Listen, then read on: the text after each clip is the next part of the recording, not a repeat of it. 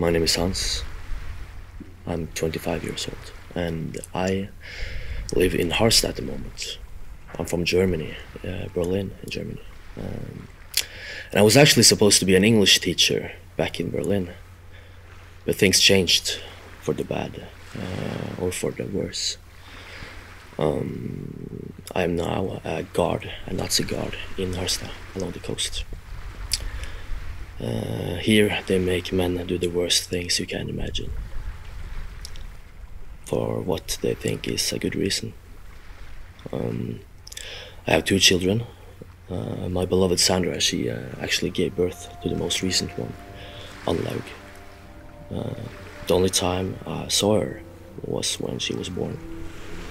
It was beautiful. I mean, yeah. The other one, uh, Lise, she uh, lives in Germany.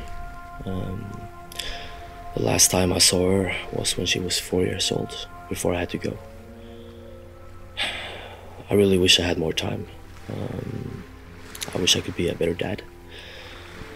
But unfortunately, I, uh, there's nothing I can do about it at the moment. When I'm with Sandra, she, uh, she brings out the best in me.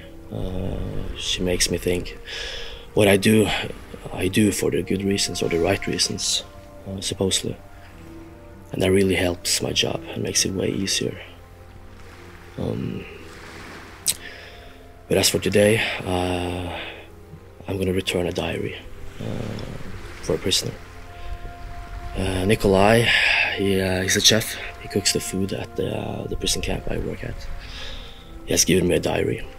Um, the diary belongs to Gregor. Uh, Gregor is a strong prisoner. Um, unfortunately, he's become ill and sick and weak. I don't know how much time he has left, so um, I actually spoke with him and uh, I swore to him that I will give his diary somehow to his daughter. Svetlana, I think her name is. Um, Nikolai, the chef, he has given me the diary, and uh, I will do everything in my power to uh, make sure his daughter, his daughter will get the diary. Um, right now, I'm going to be shipped off to Finnmark for uh, duty. Uh, they say the work is going to be way more disturbing than what it is here. Um, but they also say the conditioning or the condition up there is better. It's so cold here, so the offer is really tempting. I haven't told anyone about this yet, not even Sandra, not even close friends. And I'm not really sure if they'll ever see me again.